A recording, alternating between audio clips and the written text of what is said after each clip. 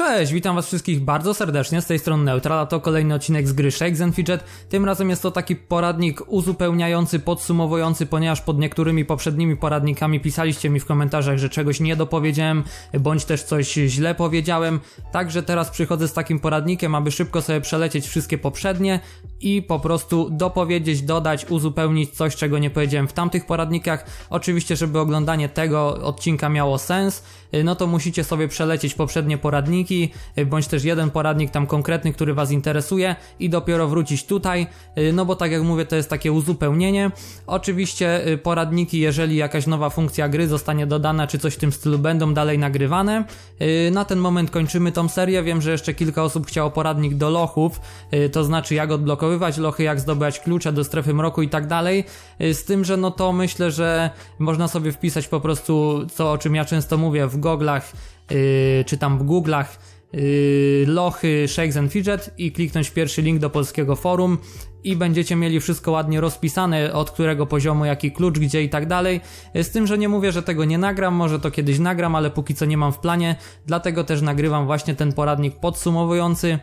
No i na wstępie jeszcze Was proszę o zostawienie kciuka w górę, ponieważ yy, wiem, że jeżeli proszę o te kciuki na początku, to jest ich o wiele więcej, czas, czasem nawet o 50 więcej, aniżeli pod innymi filmami, gdzie proszę tylko na końcu, także no wiem, że to czasem może irytować, ale nie dziwcie się, no bo jednak statystyka przemawia za tym, aby mówić o tym na początku.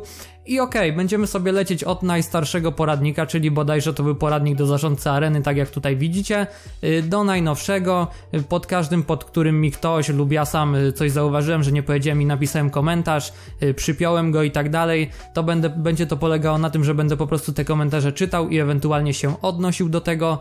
Okej, okay, myślę, że le lecimy. Ok, pierwszy poradnik był to poradnik do zarządcy areny i mamy tutaj coś takiego. Runa w broni, obrażenia od błyskawic, ognia i tym podobne działa w walkach między graczami oraz we wszystkich lochach.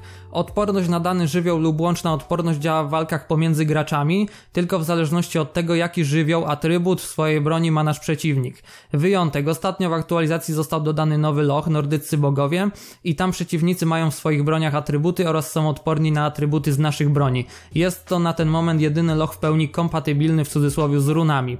Yy, oczywiście ten loch już został dodany dawno, z tym, że w momencie pisania tego komentarza yy, było to niedawno po prostu.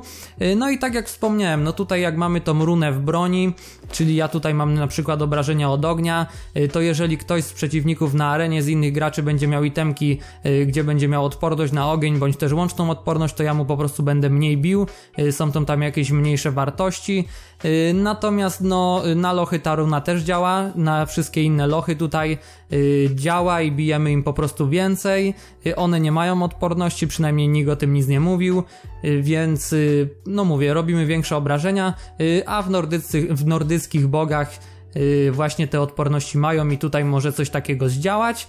Y, z tym, że no, myślę, że w tym komentarzu wszystko wyjaśniłem, takie tam wszelkie wątpliwości, nie powiedziałem o tym na filmie, więc y, dobrze by było o tym wspomnieć. Kolejna sprawa są to pupile, a konkretnie żywioł wody.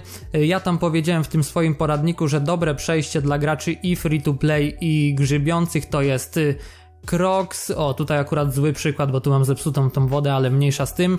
Y, to jest tam z tego co kojarzy Crocs na około y, chyba 80, potem Konix na około 80, y, i z Koniksa na szlauwęża na setny i zamykamy środowisko. Yy, coś takiego, to tam możecie sobie wrócić do tego poradnika do pupili i o tym yy, posłuchać. Yy, z tym, że bardzo dobre jest przejście w wodzie i też dla graczy free to play i dla graczy eco, o którym ja nie wspomniałem i sam go nie robiłem. Teraz, jeżeli będzie jakiś nowy serwer czy coś w tym stylu, yy, to po prostu będę to przejście robił. Yy, mianowicie, yy, Crocs na około 50-60 to w zależności czy grzybicie czy nie, można go sobie lepiej podkarmić. Potem dajecie, przechodzicie na siedmiornicę, siedmiornicę karmicie do setki i y, przechodzicie sobie z siedmiornicy na szlauwęża i tak jak już tutaj końcówka taka sama, y, szlauwęża do setki i lecimy sobie na y, hydrowira, hydrowira, czyli po prostu zamykamy środowisko.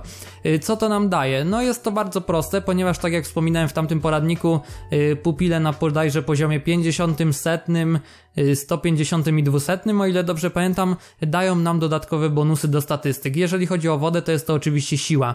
No i tym przejściem, o którym przed chwilą powiedziałem, mamy dwa pupile po drodze na setkę, czyli siedmiornicę i szlawęża, co nam daje lepsze bonusy do tej naszej siły, aniżeli gdy sobie dajemy kroksa, nie dokarmiamy do 100, koniksa również nie dokarmiamy do 100 i dopiero mamy szlawęża, którego karmimy do 100.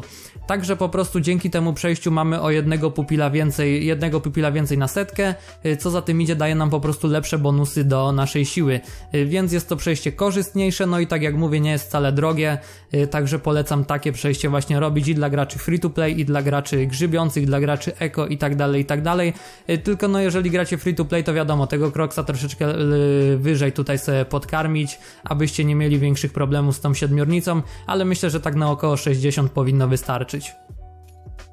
Kolejna sprawa jest to Wiedźma i dowiedziałem się tam, napisaliście mi w komentarzach pod właśnie poradnikiem do Wiedźmy, że y, tarcza liczy się jako broń, więc ja tam mówiłem, że wojownik jakby tej tarczy nie, nie może wrzucić, Wiedźma nigdy nie chce tarczy i szczerze mówiąc nie wiedziałem o tym, więc jakby ja się też uczę razem z wami y, tej gry jeszcze, y, więc tak jak mówię, no jeżeli Wiedźma tutaj chce bronię, to jako wojownik, no ja teraz jestem na berserku, ale jako wojownik możecie wrzucić sobie y, także tarczę i też ona będzie normalnie przyjmowana, y, także fajnie. Myślę, że mogliby tutaj dodać napis, że jak jest y, broń, to jeszcze łamane na tarcza, czy coś w tym stylu, no ale warto o tym wiedzieć, bo ja naprawdę dużo tarcz zmarnowałem, bo po prostu nie wiedziałem i nie wrzucałem do tej wiedźmy, także to takie krótkie, ale myślę, że dość istotne dla wojowników.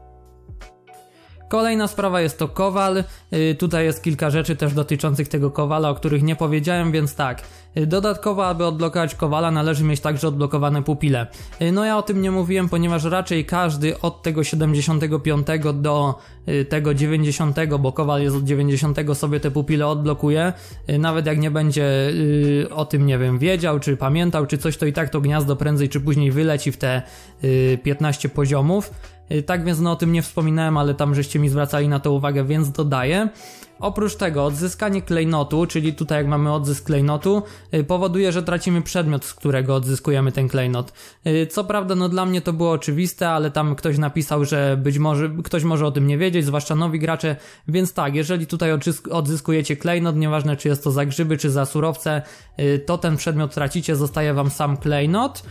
Yy, druga, kolejna sprawa to jest tak, przedmiot można ulepszyć maksymalnie 20, la, 20 razy, ulepszamy je w miarę porówno, bo ktoś mnie pytał jak ulepszać te przedmioty u tego kowala, no staramy się tak w miarę porówno, ja tutaj mam jak widzicie, ja te ulepszenia to mam w cały świat, tak szczerze mówiąc, yy, ale to jest powodem tego, że ja nieraz kliknę, nie zauważę na ile przejechałem tutaj tą, yy, o, tym suwaczkiem, generalnie tutaj mam, no jak widzicie, tu mam 7, 5, 6, 5, 8 nawet mam 5, 6, no taka średnia powiedzmy powinienem mieć 6, tu sobie mogę niektóre rzeczy poulepszać, y, także no tak jak mówię, ulepszacie w miarę porówno, y, broń, jeżeli macie. Y, generalnie zwykłe itemki są tańsze do ulepszenia, więc jeżeli korzystacie ze zwykłych itemków, to możecie je tam o dwa poziomy na przykład więcej ulepszyć. Tak jak ja tutaj mam epicką broń razy 10, to zwykłą bym mógł na spokojnie myślę razy 12 ulepszyć. To samo się tyczy zwykłych itemków.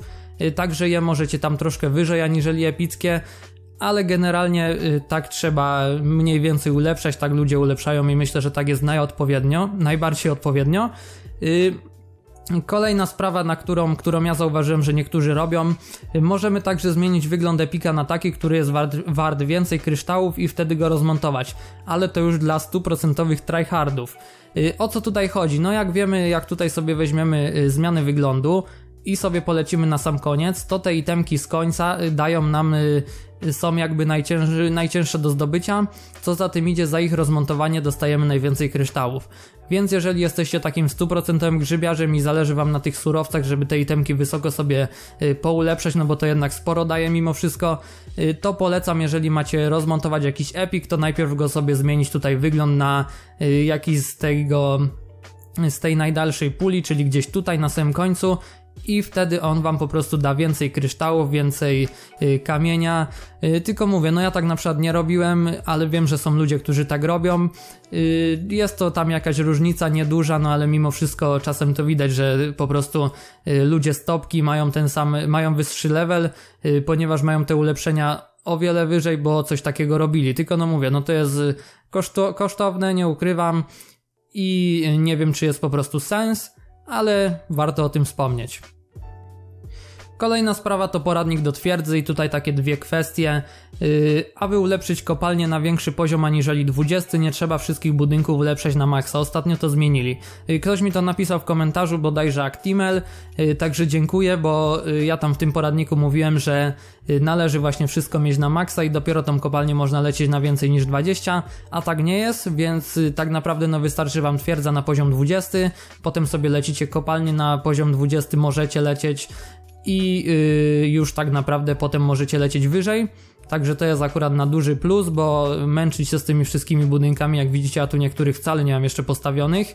Yy, z tym, że no tutaj akurat nie ma co się sugerować tą moją twierdzą na tym serwerze, ale no yy, jest to na pewno fajne, no bo lecieć wszystko do tego przynajmniej 15, no to jest naprawdę czasochłonne i no i nas ogranicza tak naprawdę, a tak to możemy polecieć od razu teraz twierdzę na 20 i potem już sobie kopalnie ulepszać jak tylko nam się podoba. Y, kolejna sprawa, zapomniałem wspomnieć o istotnej rzeczy dla grzybiarzy. Jeden grzyb to w przeliczeniu na czas około 10 minut budowy, y, więc 10 grzybów to około godzina 40 minut. Y, no to jest ważne, jeżeli jesteśmy grzybiarzami i chcemy sobie policzyć ile nas będzie jakieś skipnięcie czegoś kosztowało. Y, także no tak jak mówię, jeden grzyb to około 10 minut, 10 grzybów godzina 40, no i sobie możecie policzyć ile macie tam godzin wam zostało na przykład tutaj do, do y, końca wykopywania tych klejnotów i ile was to będzie w, w razie czego grzybów kosztowało. Y, to wiecie, no zanim jeszcze zaczniecie ulepszać, bo tak to wam piszę, no nie, ale zanim zaczniecie ulepszać i chcecie sobie policzyć, to myślę, że to jest dosyć istotne. Kolejna rzecz są to podziemia.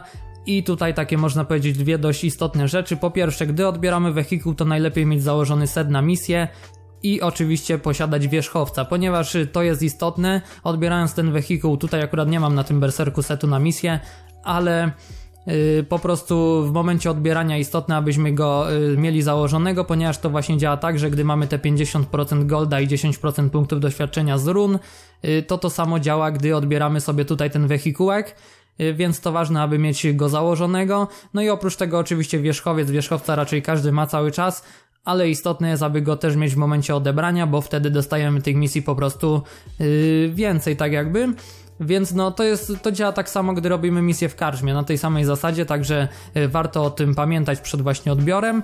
I kolejna sprawa co do kopalni gemów i złota, to można je wybudować do setnego levela max i ja to tam sprawdzałem na jakiś forum, ciężko w ogóle znaleźć o tym informację, ale chyba tutaj kolega, który mi to napisał miał rację, yy, bo yy, właśnie tak jest, że można maksymalnie do setnego levela je yy, ulepszyć, z tym, że no ta informacja jest akurat taka mniej istotna, bo no zanim to kopalnie złota i tych gemów ulepszymy do tego setnego, no to minie bardzo dużo, przeważnie ludzie kończą grę zanim je ulepszą właśnie do tych setnych poziomów, a na pewno gdy już ktoś będzie się zbliżał, to znowu podniosą ten pułap na przykład do 150 albo 200, y, więc no jednak to może iść w nieskończoność, także to nie jest zbyt istotna informacja, ale skoro był to poradnik, no to warto o tym wspomnieć.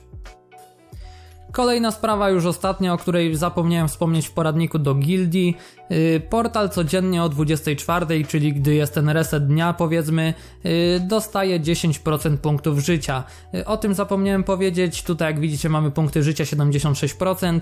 Jeżeli by go nikt teraz nie bił już do końca dnia, Y, no to zrobi się po prostu 86%. Y, także tak samo to działa zresztą w tym portalu tutaj u nas tym prywatnym. Jeżeli ja bym go teraz nie uderzył, to y, jutro by miał 100%. Także po prostu te portale sobie rosną o, o te 10%.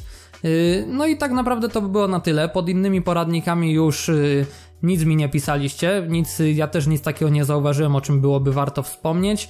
Y, także tak jak mówię, no dziękuję Wam za oglądanie. Mam nadzieję, że ten poradnik już tak zamknął y, temat y, tych rzeczy, które były do tej pory nagrane, jeżeli chodzi o poradniki. Jeżeli Wam się podobało, to oczywiście strzelcie kciuka w górę, strzelcie komentarz. Yy, dołączajcie na Discorda dla widzów, bo tam też można mnie, jeżeli coś nie jest jasne, czy coś można do mnie napisać, zapytać mnie. W komentarzu tak samo możecie o coś zapytać, jeżeli was coś nurtuje, ja tam staram się każdemu odpowiadać. Yy, także dziękuję za oglądanie, mam nadzieję, że się wam podobało. Jeżeli tak, zostawcie mówię kciuka w górę. Trzymajcie się i cześć.